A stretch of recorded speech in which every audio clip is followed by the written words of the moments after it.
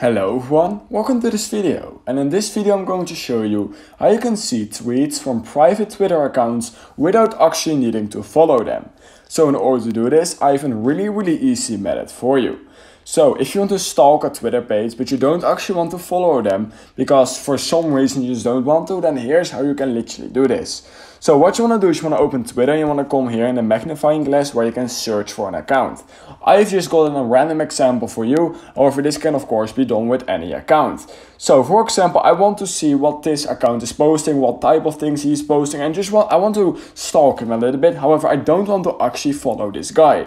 Well, what I then can do is I can simply search, uh, search his actual username without going to his account directly. So I will do something like this. And then what you want to do is you want to go to latest and literally right here, you will get a lot of people who are replying to that account and you can literally see what they are talking about. And so if you scroll down a little bit, there you, you will get a lot of information about what this guy is actually posting without actually seeing uh, the actual tweet. However, if you can simply check the comments, you can easily see what they are uh, currently posting. For example, here you can see uh, someone is saying good morning, meaning that he probably also did a good morning post. And here you see some numbers, meaning he's probably doing somewhat of a giveaway or something.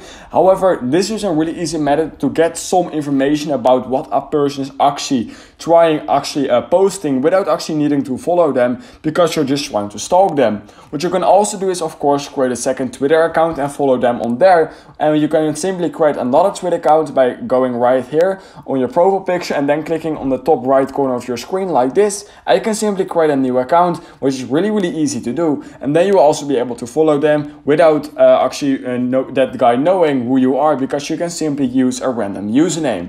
So that's how you can see tweets from private Twitter accounts without actually following them. If you learned something from this video, I would highly appreciate it if you could like this video, subscribe to my channel, and I hope I will see you in the next YouTube tutorial video.